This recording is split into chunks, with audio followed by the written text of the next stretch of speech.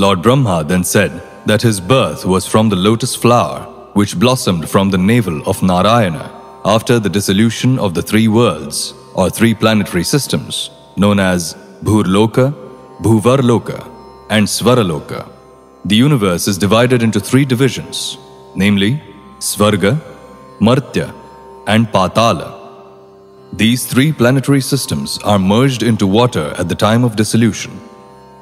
At that time, Narayana, a plenary portion of Krishna, lies down on the water, and gradually a lotus stem grows from his navel, and from that lotus flower, Brahma is born. It is naturally concluded that the mother of Brahma is Narayana, because the Lord is the resting place of all the living entities after the dissolution of the universe. He is called Narayana. The word Nara means the aggregate total of all living entities, and Ayana means the resting place. The form of Garbhodakshayi Vishnu is called Narayana because he rests himself on that water. In addition, he is the resting place of all living creatures. Besides that, Narayana is also present in everyone's heart, as confirmed in the Bhagavad Gita. In that sense also, the Lord is Narayana, as Ayana means the source of knowledge as well as the resting place. It is also confirmed in the Bhagavad Gita that the remembrance of the living entity is due to the presence of the super soul within the heart. After changing the body, a living creature forgets everything of his past life.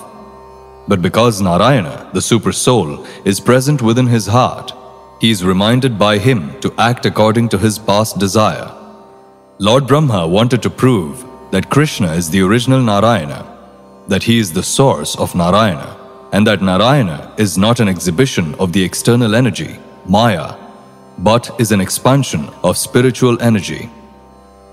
The activities of the external energy, or Maya, are exhibited after the creation of this cosmic world, and the original spiritual energy of Narayana was acting before the creation. So the expansions of Narayana from Narayana to Karanodakshai Vishnu, from Karanodakshai Vishnu to Garbhodakshai Vishnu, from Garbhodakshai Vishnu to Kshirodakshai Vishnu, and from Kshirodakshai Vishnu to everyone's heart are actually Krishna's expansions, manifestations of his spiritual energy. They are not conducted by the material energy, therefore, they are not temporary. Anything conducted by the material energy is temporary, but everything executed by the spiritual energy is eternal. Lord Brahma reconfirmed his statement, establishing Krishna as the original Narayana. He said that the Lord's gigantic universal form is resting on the water known as Garbhodaka. He spoke as follows This gigantic universal form is another manifestation of your energy.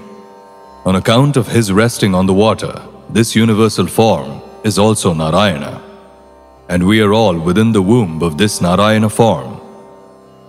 I see your different Narayana forms everywhere. I can see you on the water. I can feel you within my heart. And I can also see you before me now. You are the original Narayana.